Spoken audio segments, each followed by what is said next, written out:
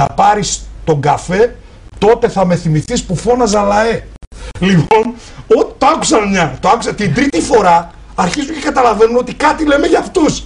Όταν δεν θα έχεις να πάρεις το φραπέ, Φραπέ. τότε θα με θυμηθείς που φώναζα λαέ. Δηλαδή το πρόβλημα δεν είναι δικό μας. Ο σολό Όλο, που έρχεται. όλο. Μπορεί να παίρνεις τα 5-10 ευρώ από τη γιαγιά, τον παππού, το, τη μαμά, το θείο, τη θεία, να πιεις τον καφέ στην, ε, στη λεωφόρο νίκης, αλλά κάποια στιγμή ούτε καφέ θα υπάρχει ούτε τίποτα. τίποτα. Λοιπόν, και θέλει προσέγγιση, θέλει υπομονή. Δεν θέλει σεχταριστικού τύπου λογικές ότι αυτοί δεν ξέρουν, αυτοί δεν καταλαβαίνουν, αυτοί δεν μπορούν, αυτοί δεν κάνουν κλπ.